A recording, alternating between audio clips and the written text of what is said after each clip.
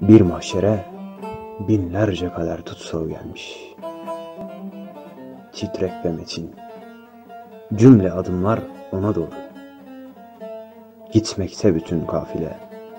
Meçhule yönelmiş. Nereden gelerek hangi karanlık sona doğru. Her şey kopuyor istemeden kendi yerinden. Herkes geliyor. Sonra da herkes gidecektir. Milyonlar asır geçse de arzın üzerinden bir kere giden bir daha ses vermeyecektir. Meçhul kaderin çizdiği yoldan gideceksin.